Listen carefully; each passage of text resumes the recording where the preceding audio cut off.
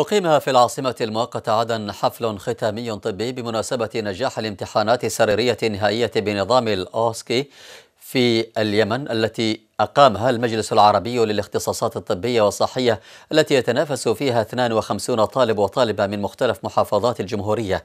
في مساق الجراحة العامة بنظام الأوسكي على مرحلتين تضمنت الأولى نظرية والثانية سريري إكلينيكي التي أشرف عليها نخبة من الأطباء من مختلف أقطار الوطن العربي.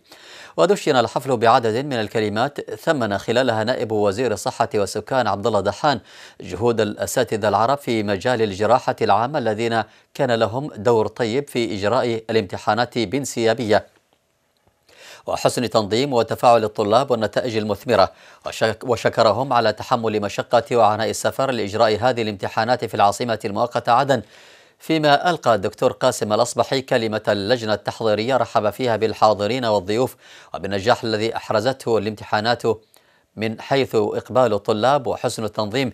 وفي نهاية الحفل تم تكريم من أسهموا في إنجاح هذه الفعالية وأعضاء لجنة الامتحانات من الأساتذة العرب في المجلس العربي المشرفين على سير الامتحانات وأعضاء اللجنة التنظيمية الخاصة بالامتحانات الذين جاءوا من مختلف الأقطار العربية.